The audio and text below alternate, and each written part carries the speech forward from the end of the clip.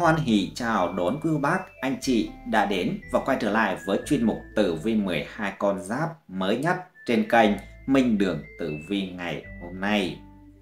Lần đầu tiên, thay mặt cho 30 tập trình, những người làm chương trình Minh Đường Tử Vi xin được gửi lời chào, lời chúc tới quý bác, anh chị sức khỏe, hạnh phúc, bình an, gặp dự hóa lành, gặp hung hóa cát, gặp thời đội vận, tài lộc nở hoa, tình tiền viên mãn, giàu sang phú quý tới già. Và nếu như quý cô bác, anh chị là lần đầu tiên đến với kênh Minh Đường Tử Vi thì hãy hoan hỷ đăng ký kênh, ấn chuông ở phía bên dưới để được đón xem những video mới nhất mà 30 tập trình Minh Đường Tử Vi đăng tải cũng như là thấy nội dung video hay, hữu ích thì hãy like, chia sẻ video cho mọi người cùng xem.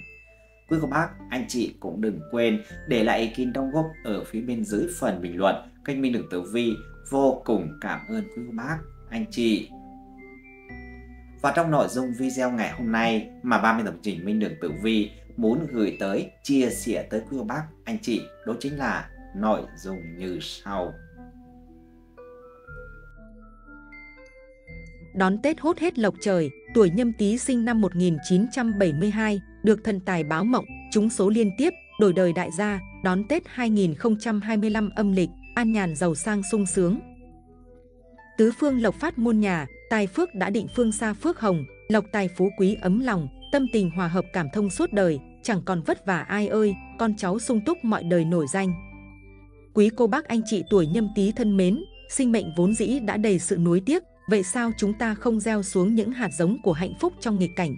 Mỗi buổi sớm tinh khôi nhâm tý sẽ mỉm cười đón ánh bình minh, khi hoàng hôn buông xuống lại thưởng thức sự mỹ lệ dưới ánh chiều tà. Bản mệnh nhâm tý hãy dành cho mình khoảng thời gian để thư giãn, dù cho bao bộn bề và những gánh nặng thử thách đang chờ đón nhâm tý phía trước. Minh Đường Tử Vi biết rằng, cô bác anh chị tuổi nhâm tý đã phải tìm đến video này, hẳn là cuộc sống của nhâm tý không được dễ dàng làm mấy. Nhâm tý thân mến, người hạnh phúc nhất chắc hẳn không phải là người có nhiều thứ, mà là người vẫn mỉm cười ngay cả khi trong tay không có thứ gì. Bởi vậy nhâm tý hãy luôn cảm thấy biết ơn ngay khi cuộc sống này có gửi đến cuộc đời nhâm tý những điều bất như ý cô bác anh chị nhé. Vì cuộc sống này vốn không hoàn mỹ, bản mệnh nhâm tý hãy giang tay đón nhận tất cả những gì mà nhâm tý đang có. Dù thuận lợi hay khó khăn, cũng đều là an bài tốt nhất của cuộc đời, bởi vì dù muốn hay không muốn, nó vẫn xảy đến với cuộc đời nhâm tý.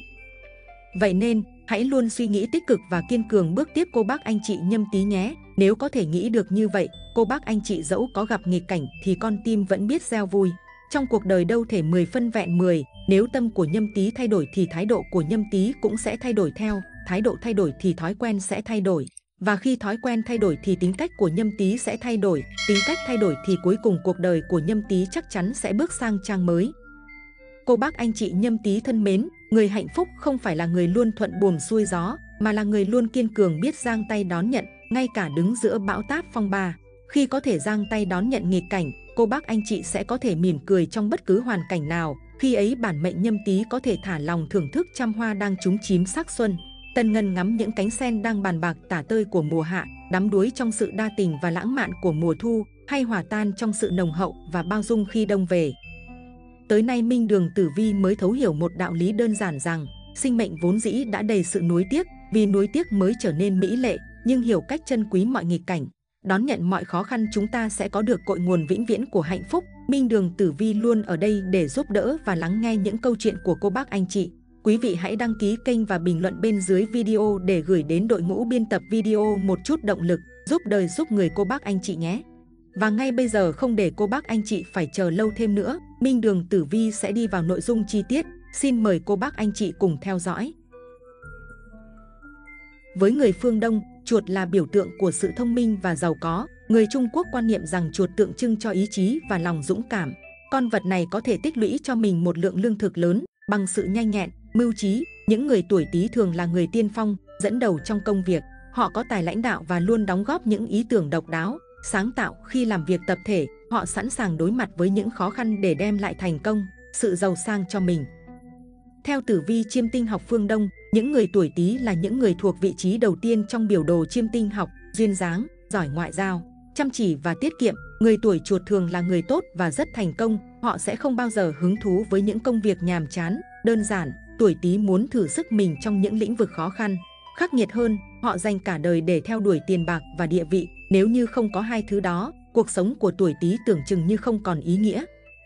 Những người này sẽ đầy nhiệt huyết, tận tâm hết mình khi ở một vị trí cao, tổ chức, lãnh đạo người khác mới là công việc đem lại cho họ sự hứng thú. Chỉ cần là lĩnh vực tuổi Tý yêu thích, họ sẽ cố gắng phát triển, thể hiện tài năng của bản thân và quyết tâm đem về cho mình sự thành công, càng khó khó khăn, gian nan, người này càng kiên trì tỏa sáng, họ không những được mọi người yêu quý mà còn khiến ai ai cũng kính trọng nể phục tài năng của mình. Tuổi Tý giỏi trong việc kiếm tiền, nhưng họ không chi tiêu hoang phí, ngược lại còn rất tiết kiệm. Họ là những người cởi mở thân thiện trong cuộc sống, luôn tốt bụng giúp đỡ mọi người xung quanh. Họ có khả năng điều khiển cảm xúc, hành động của bản thân, không bao giờ mất tự chủ trong nóng giận, bởi vậy họ xây dựng được nhiều mối quan hệ thân thiết gắn bó. Tuổi Tý thực sự là những con người của công việc, họ lúc nào cũng trong trạng thái suy nghĩ, bận rộn. Những người này thích nhận xét, đánh giá và chỉ đạo người khác. Điều đó đôi khi khiến đối phương cảm thấy khó chịu, tức giận, nhưng đã là thói quen thì dường như tuổi Tý khó có thể thay đổi được do sự thân thiện và cởi mở của mình. Tuổi Tý có rất nhiều bạn bè tốt gắn bó suốt cuộc đời, họ tôn trọng những người bạn của mình và sẵn sàng giúp đỡ khi những người đó gặp khó khăn. Trên phương diện tình yêu, tuổi Tý khá đa tình, họ có thói quen lưu giữ lại những kỷ niệm của tình yêu trong căn phòng của mình. Những người này khi đã yêu rất nghiêm túc và có trách nhiệm, họ có xu hướng tìm kiếm tình yêu vĩnh cửu trong cuộc đời. Tuổi Tý có trí nhớ khá tốt, điều đó khiến họ thu thập và lưu trữ được một lượng thông tin khổng lồ. Hãy hỏi anh ta về bất kỳ lĩnh vực gì, tuổi Tý sẽ chia sẻ một cách cởi mở nhất. Nếu như bạn đang lo lắng sợ họ sẽ gặp nguy hiểm, thì tốt hơn bạn nên lo cho bản thân mình, bởi bản năng của những người này là chinh phục khó khăn, thử thách, nguy hiểm. Tuổi Tý nhanh nhẹn, thích nghi với sự thay đổi của hoàn cảnh, làm công việc gì họ cũng nhất định phải đạt được thành công như ý mới thôi. Tuổi Tý tuyệt đối không để mình thua kém một ai, đôi khi những tham vọng về công danh, địa vị, tiền bạc khiến cho những người này trở nên thực dụng trong mắt mọi người. Tuổi Tý khá cẩn thận và nghiêm khắc trong công việc, nếu trở thành người lãnh đạo, họ sẽ giám sát nhân viên của mình rất kỹ càng. Không một hành động sai trái nào có thể lọt được qua tầm mắt của người này, họ tuyệt đối không thích ưa nịnh và không bao giờ hợp tác với những người lười biếng. Há miệng chờ sung, họ không bao giờ chi tiêu một cách hoang phí. Trong mắt mọi người tuổi Tý rất cẩn thận và chặt chẽ, chẳng ai có thể lấy đi bất kỳ thứ gì của họ. Tuổi nhâm tý rất kín đáo, nếu là những chuyện bí mật họ sẽ không chia sẻ ra bên ngoài. Những người này sống giàu tình cảm, họ yêu thương, quan tâm, chăm lo hết mực cho gia đình của mình. Dù rất bận với công việc nhưng họ luôn biết cách sắp xếp thời gian để bên cạnh gia đình tận hưởng không khí ấm áp, hạnh phúc. Khả năng lãnh đạo là bản tính của những ai cầm tinh con chuột, do là cung mệnh đầu tiên trong 12 cung nên người tuổi nhâm tý luôn muốn mình đứng đầu trong mọi cuộc chơi, là người tiên phong trong mọi hoạt động và là người ra lệnh ở mọi nơi. Với bản tính hiếu động và tò mò, họ luôn suy nghĩ không ngừng, sống thiên về hoạt động trí óc, thông minh, lanh lợi và sống theo cảm tính là những gì ta thường thấy ở những người thuộc cung mệnh này. Người tuổi nhâm tý rất trân trọng mối quan hệ với bạn bè, nếu bạn phát hiện anh ta gắn liền với cuộc sống của ai đó, thì chính là vì hễ anh ta có tình cảm tốt với người nào đó, thì rất khó thoát ra khỏi tình cảm quyến luyến mãnh liệt. Tuy nhiên, người ta không thể biết đích xác lập trường của anh ta, mức độ tình yêu của anh ta chỉ có thể xếp sau sự nhạy bén và bản tính thích tiền. Phòng anh ta cất đầy quà kỷ niệm, lòng anh ta ẩn chứa đủ chuyện vui buồn đã qua, anh ta thích lo chuyện phần lớn là có ý tốt thôi. Trí nhớ của người tuổi Tý rất tốt, cực kỳ thích đặt câu hỏi, kiến giải cao siêu, anh ta hầu như hiểu rõ từng người xung quanh, từng chuyện nhỏ, ghi nhớ từng con người, từng sự kiện xung quanh họ vào bộ nhớ và lấy đó làm sở thích. Họ thích đặt câu hỏi và tự trả lời cho câu hỏi đó. Đây cũng là một thú vui trong cuộc sống của họ. Bởi vậy, người tuổi nhâm tý có trở thành một nhà báo, nhà văn xuất sắc thì cũng chẳng ai kinh ngạc. Người sinh vào năm tý bất luận làm việc gì cũng đều thành công. Vì anh ta biết tùy cơ ứng biến, giống như một chú chuột, anh có khả năng vượt qua mọi khó khăn, không sờn bước trước hiểm nguy, vì anh ta bình tĩnh, tỉnh táo và nhạy bén, có một trực giác sắc sảo, tầm nhìn xa và sự mẫn cảm trước các cuộc làm ăn, hoạn nạn, chỉ khiến trí tuệ của anh ta thêm xuất chúng, anh ta luôn bận rộn hoạch định kế hoạch của bản thân. Người tuổi Tý bộc trực, thành thật, nhưng mọi cử chỉ, lời nói của họ đều khiến ta có cảm giác đó là người cẩn thận, chặt chẽ, họ nỗ lực làm việc, sống tiết kiệm, họ không cho ai bất cứ thứ gì, trừ phi đó là người họ rất quý mến. Nếu như bạn có thể lấy được của người tuổi Tý một vật rất quý giá, thì sự đánh giá của họ đối với bạn ắt phải tương đương với giá trị của vật đó. Một người lãnh đạo tuổi Tý luôn quan tâm đến nhân viên của mình, Họ quan tâm xem nhân viên làm việc có hăng say không, có ăn uống và nghỉ ngơi hợp lý hay không. Khi nhân viên của họ ốm đau, bệnh tật, họ sẽ ân cần thăm hỏi, coi vấn đề của họ như chuyện của mình và tìm cách giải quyết. Nhưng khi nói đến chuyện tăng lương hoặc giảm giờ nghỉ cho nhân viên, mà đáng lý ra họ phải được hưởng từ lâu rồi, thì anh ta bắt đầu viện ra đủ mọi trở ngại và biến thành kẻ nhỏ mọn, sẽ khéo léo né tránh hoặc phớt lờ rồi quên luôn. Muốn ký kết hợp đồng với người tuổi nhâm tý thì bạn phải bàn bạc đàm phán nhiều lần mới đi đến thỏa thuận. Dưới quyền một ông chủ tuổi tý không nhân viên nào có thể trễ nải hoặc trốn việc được, ông chủ tuổi tý luôn tìm ra được việc làm vào bất cứ lúc nào cho nhân viên. Tổng quan tử vi năm 2025 âm lịch của người tuổi nhâm tý, sinh năm 1972. Năm 2025 là năm AT Tỵ, mệnh hỏa, năm tuổi 1972 là năm nhâm tý, mệnh mộc, dựa trên thuyết ngũ hành, mộc sinh hỏa, nghĩa là năm tuổi tương sinh với năm 2025, thiên can nhâm tương sinh với thiên can ất, địa chi tý bình hòa với địa chi tỵ, đều rất tốt. Trong năm 2025 này, nam và nữ mạng nhâm tý có nhiều cơ hội, may mắn hơn so với năm cũ, công việc sẽ đạt được nhiều kết quả tốt nếu mệnh chủ làm việc chăm chỉ, nỗ lực và có tinh thần cầu tiến, gia đạo và các mối quan hệ xung quanh cũng được hòa hợp, êm ấm. Tổng quan vận trình tử vi của anh chị tuổi nhâm tý, năm AT tỵ sẽ gặp may mắn tốt lành. Điều này nhắc nhở bản mệnh luôn giữ sự khiêm tốn, làm gì cũng bình tĩnh và suy xét cẩn thận mỗi khi ra quyết định. Nếu được như vậy thì cuộc sống trong năm 2025 sẽ thuận buồm xuôi gió, cầu được ước thấy. 1. Sao chiếu mệnh Tuổi nhâm tý 1972 trong năm 2025 có sao mộc đức chiếu mệnh. Đây là phúc lộc tinh trong hệ thống cửu diệu niên hạn, chủ về sự bình yên, hòa hợp. Sao này mang đến may mắn trong công việc và kinh doanh, dễ gặp được quý nhân phù trợ, thu nhiều tài lộc. Đối với nam mạng nhâm tý 1972, nếu năm 2025 mệnh chủ có trách nhiệm, giữ được uy tín trong công việc thì mọi chuyện sẽ thuận lợi như ý. Trong các mối quan hệ bớt đi sự khó tính, khắt khe thì không khí sẽ hòa thuận, nhận được sự ủng hộ và tương trợ, nhờ hòa khí mà sinh tài, mọi sự được bình an. Đối với nữ mạng năm 2025, có sao thủy diệu chiếu mệnh, đây là sao trung tính, vừa tốt vừa xấu, trong hệ thống sao cửu diệu, chủ về tài lộc và thị phi. Sao này sẽ gây tranh chấp ở những nữ mạng nhâm tý có tính cách hiếu thắng, không cẩn thận, còn nếu bản mệnh là người điềm tĩnh, trung thực, làm việc có kế hoạch, minh bạch rõ ràng, thì không phải lo ngại, giữ tâm lý tích cực, dĩ hòa vi quý, sẽ tránh được thị phi tranh chấp và giữ gìn các mối quan hệ lâu bền. 2. Vận hạn Năm 2025 tuổi nhâm tý nam mạng gặp hạn huỳnh tuyền, chủ về sức khỏe, tinh thần, hạn này sẽ tác động đến nam mạng nhâm tý có tính cách quá cầu toàn, ích kỷ, còn với mệnh chủ biết thông cảm cho người khác, nhiều năng lượng tích cực, không quá truy cầu mà biết hài lòng với thực tại thì không cần lưu tâm để giảm trừ tác động xấu của vận hạn, mệnh chủ nên chú ý đến sức khỏe nhiều hơn. Giữ tinh thần vui vẻ, tạo niềm vui mỗi ngày thì sẽ không ảnh hưởng bởi những điều tiêu cực. Bên cạnh đó, hãy thường xuyên thăm khám định kỳ để chữa trị bệnh cũ, đảm bảo sức khỏe ngày càng tốt hơn. Đối với nữ mạng, năm 2025 tuổi nhâm tý nữ mạng gặp hạn toán tận, vận hạn này chủ về hao tốn tiền bạc, tài sản để giảm trừ tác động xấu của vận hạn này. Mệnh chủ nên quản lý tài chính chặt chẽ, không chi tiêu lãng phí, Điều quan trọng là nên tính toán kỹ lưỡng trước những quyết định đầu tư liên quan đến tiền bạc trong năm nay. Khi giao dịch mua bán, mệnh chủ cần chú ý kiểm tra đầy đủ hóa đơn, đọc kỹ các điều khoản hợp đồng trước khi ký kết để tránh sai sót, nhầm lẫn. 3.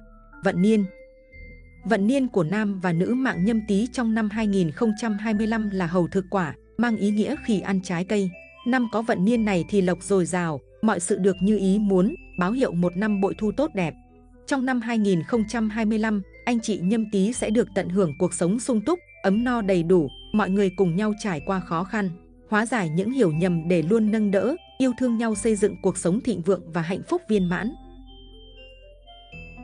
Tổng quan tử vi tuổi nhâm tý 1972, năm 2025 âm lịch. Theo tử vi 12 con giáp nhận thấy, người tuổi nhâm tý may mắn được đón năm mới 2025 với nhiều điều như ý. Nhiều kế hoạch bạn đặt ra từ trước đó có thể tiến hành một cách thuận lợi. Bạn không chỉ duy trì được sự quyết tâm mà còn nhận được sự giúp đỡ của nhiều người xung quanh. Trên phương diện sự nghiệp, nhờ có nhị hợp chiếu mệnh mà việc hợp tác làm ăn tiến triển thuận lợi, bản mệnh xây dựng được các mối quan hệ xã giao hài hòa với bạn bè, đồng nghiệp nên thường xuyên được giúp đỡ khi gặp khó khăn, đồng thời được giới thiệu cho những cơ hội đáng quý. Bạn nên tận dụng cơ hội này để cố gắng hết sức khẳng định bản thân. Cát tinh sẽ giúp những mục tiêu tưởng chừng khó khăn của bạn bỗng trở nên đơn giản hơn nhiều. Việc hợp tác thuận lợi cũng khiến cho quá trình kiếm tiền trở nên suôn sẻ hơn khoảng thời gian trước đó nhiều. Bạn không cần quá bận rộn mà vẫn có thể kiếm được cho mình một khoản tiền kha khá. Tử vi năm 2025 tuổi nhâm tý âm lịch thấy rằng con giáp này xác định được tiềm lực của bản thân, tiềm năng của các đối tượng khách hàng nên đi rất đúng hướng, thậm chí bạn có thể trở thành người dẫn đầu cho một xu thế mới, trong khi mọi người xung quanh còn bối rối tìm lại guồng quay quen thuộc thì bạn đã đạt được những thành công nhất định. Phương diện tình cảm cũng có những dấu hiệu tiến triển tốt lành nhờ những thành công trong sự nghiệp cũng như nhờ thái âm cát tinh phù trợ. Bạn nhận được sự chú ý ngưỡng mộ của nhiều người xung quanh, người độc thân có thể trở nên vô cùng thu hút trong mắt người khác giới. Bạn nên tự tin hơn và kéo gần khoảng cách với người mình thầm mến, với người đã lập gia đình, bạn và người ấy duy trì được mối quan hệ hài hòa, yêu thương nhau. Xét phương diện sự nghiệp tuổi nhâm tý 1972, năm 2025 âm lịch. Sự nghiệp của người tuổi nhâm tý có những bước tiến đáng kể, một phần là vì các tinh phù trợ, một phần còn là nhờ bạn đã luôn cố gắng phấn đấu hết sức. Những gì bạn gặt hái được vào thời điểm này là hoàn toàn xứng đáng. Nhị hợp cho thấy những kế hoạch bạn lập ra vào thời điểm này rất sát với thực tế và với năng lực bản thân. Chính nhờ vậy mà bạn bắt tay vào làm vô cùng thuận lợi. Nhờ có tầm nhìn xa trông rộng, bạn nhận ra được khoảng thời gian sau Tết, mọi người thường thờ ơ, lơ là vì vẫn ham vui. Nếu bạn nghiêm túc tập trung hết sức vào nhiệm vụ, thì tỷ lệ đạt được thành công sẽ cao hơn nhiều. Các mối quan hệ xã giao hài hòa tốt đẹp cũng giúp ích cho bạn khá nhiều trên con đường chinh phục thành công. Bản mệnh luôn nhiệt tình giúp đỡ người khác trong công việc, nên khi gặp khó khăn bạn cũng nhận được sự giúp đỡ hỗ trợ của mọi người xung quanh.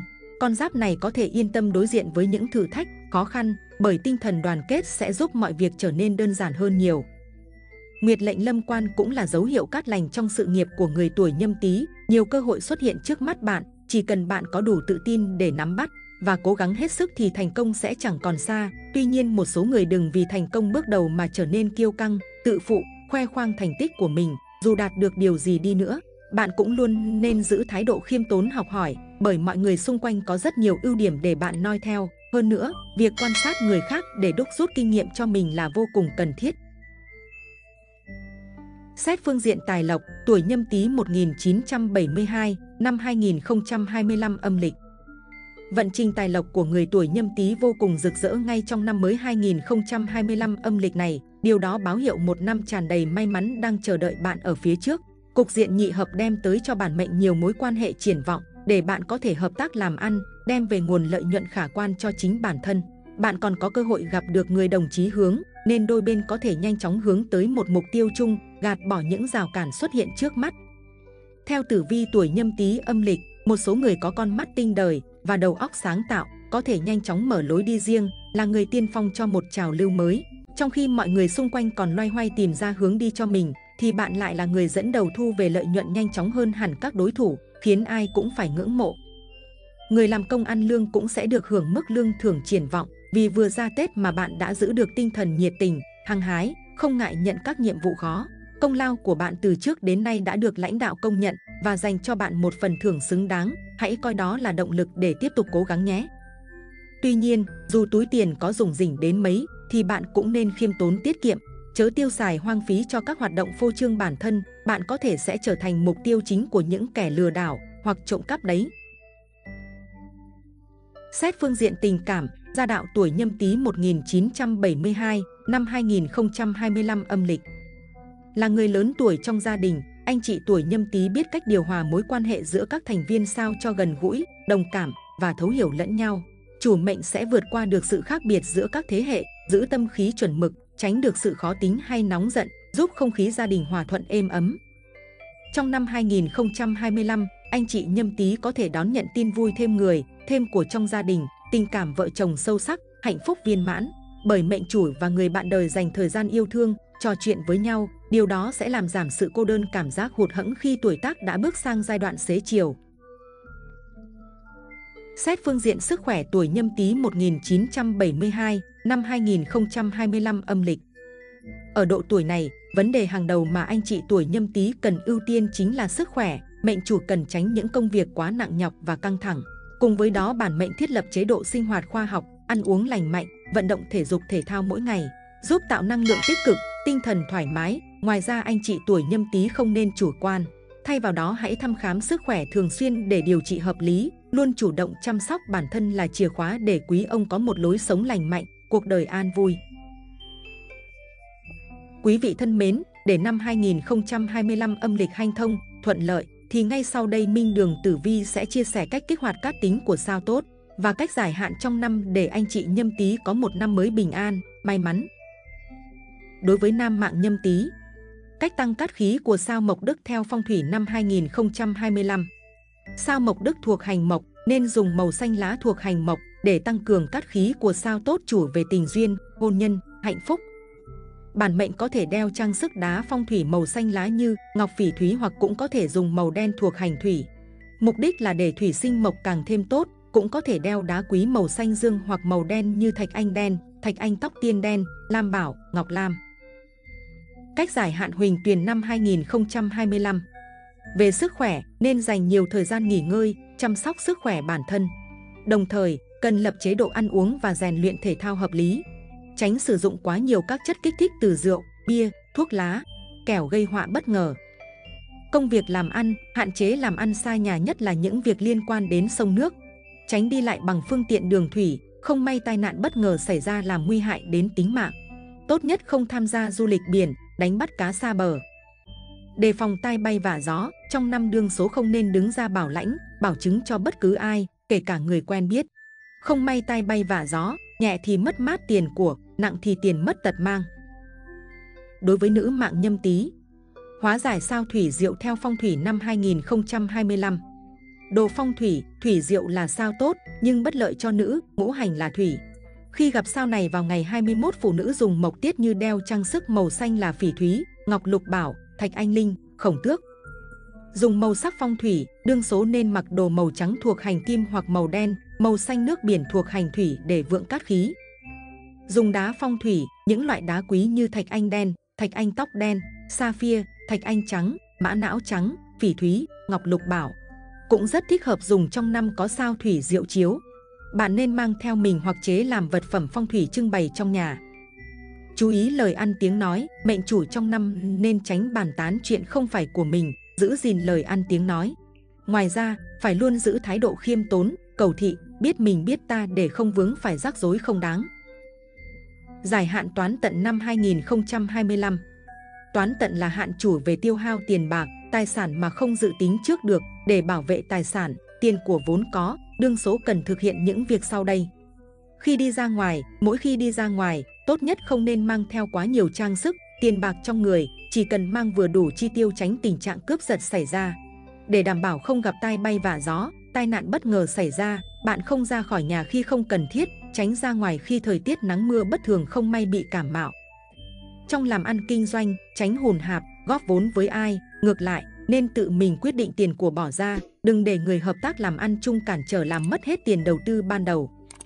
Vấn đề đi lại, để tránh các tai nạn bất thình lình xảy ra, gia chủ gặp hạn không nên sử dụng các chất kích thích như rượu, bia, thuốc lá, tránh lưu thông bằng đường thủy.